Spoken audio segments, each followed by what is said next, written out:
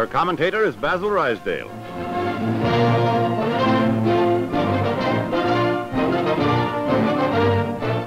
The first military surprise blow in the Italian stalemate comes in a bold, large-scale landing on the Nazi-held coast near Anzio. Yanks of the American Fifth Army seize a wide beachhead. Swarming ashore in force, they take the German high command completely unaware.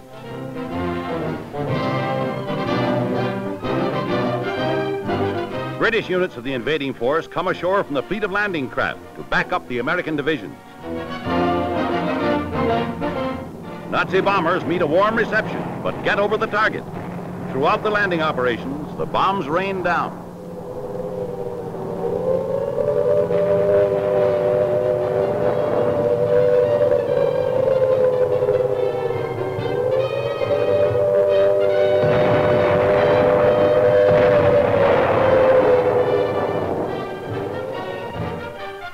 Nazi troopers lie where they fell. Fires sweep Anzio, it is here that Nero fiddled while Rome burned. Now the Nazis try to turn the tables. Weapons, supplies, and men pour ashore until the beachhead becomes firmly established and a threat to Rome that puts Hitler on the anxious alert.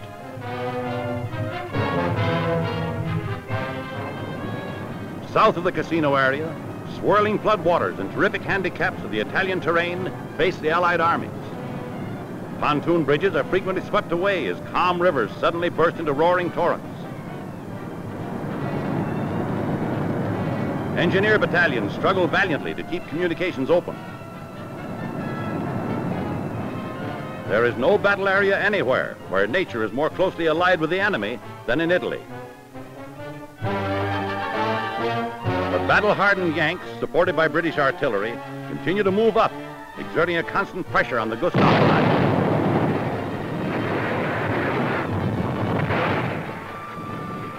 Even the patient donkey becomes hardened to war. The Italian people reap the bitter fruit of fascism's alliance with Hitler.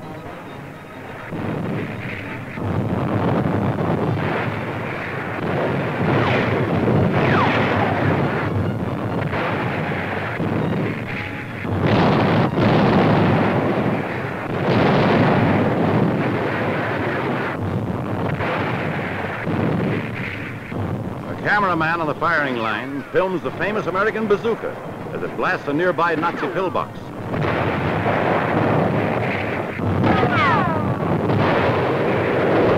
The roar of Allied artillery continues, this deafening chorus constantly reverberating through the war-torn hills. German artillery checks its range from a water tower, so Allied engineers destroy it.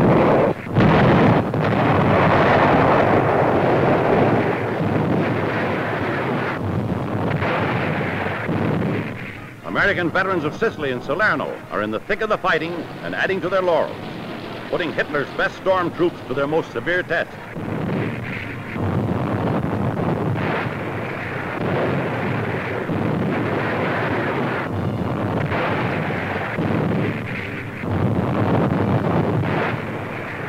These tough Nazis have had enough.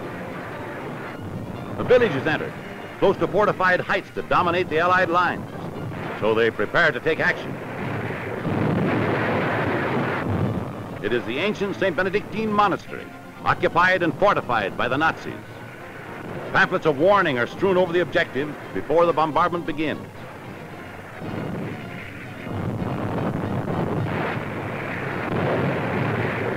After due warning, the artillery gets the range. From those heights, the Nazis have shelled American and British troops for weeks, causing serious casualties.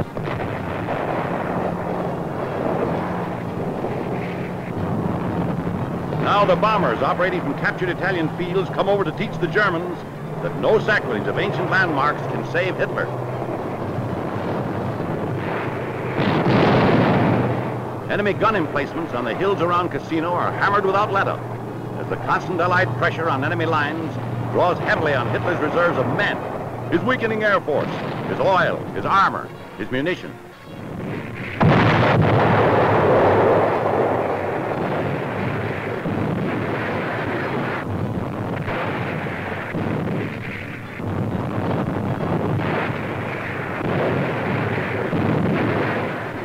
Thousands of empty shell cases speak eloquently of the fury of the Allies' fight for Rome.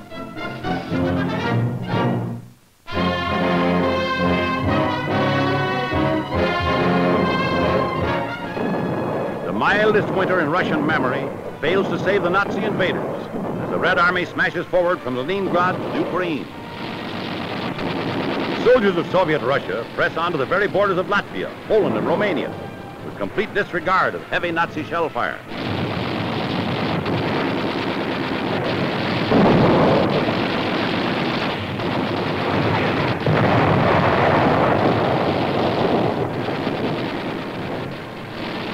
An advance guard is stopped by the fire from a crippled Nazi tank, still serving as a makeshift pillbox for its crew.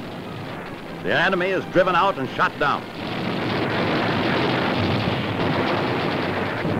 The world marvels at the long sustained power of an offensive stretching 800 miles from Stalingrad all the way to the trembling Balkans. Frontline's casualties get immediate first aid by heroic nurses. German mechanized equipment is battered and abandoned from the Gulf of Finland to the Bug River. But Nazi strategy is to force the Russians to pay as heavily as possible in munitions and men for every mile reconquered.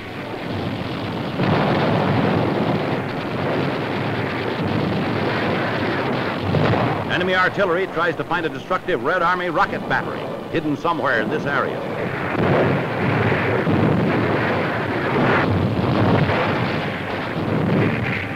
Field Marshal Timoshenko watches the blasting of enemy positions. Smolensk, Gomel, Kiev, Krivoy Rog, and thousands of smaller towns are swept clean of the enemy. Hundreds of thousands of Germans either perish or surrender. Complete ruin is left behind by every retreating Nazi division. They blast and burn in a senseless orgy of destruction. The bitter fruit of Hitler's intuition is not only useless slaughter and waste, but a Russian hatred of everything German symbolized by a thousand flaming villages.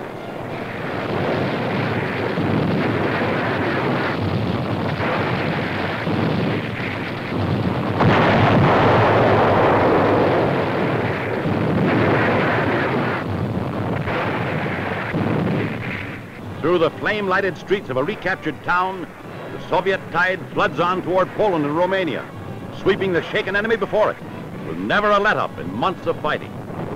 Suicide squads of the German rear guard are encountered. There goes a grenade, and there goes a Nazi sniper. On the heels of the victorious army, Russian peasants straggle back into their devastated villages in pitiful groups. Everything lost, homes, personal belongings, and most of their men. The Red Army frequently gains from 10 to 15 miles a day, smashing great holes in the German positions from the Pripyat marshes to the Black Sea. The intense emotional joy of Russia's liberated people blinds them to scenes of destruction. Every soldier is a conquering hero. Homes may be aflame, but a woman kneels in thanksgiving. Everywhere, peasants weep for joy that the Nazis are beaten. Out of hiding comes a suffering people. A procession of Hitler's hoodlums passes under guard, mainly to protect them from an enraged people.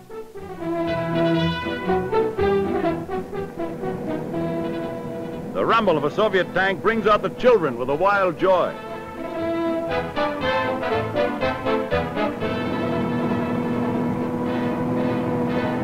Every Russian soldier is decked with garlands and hailed for his courageous part in Russia's smashing offensive.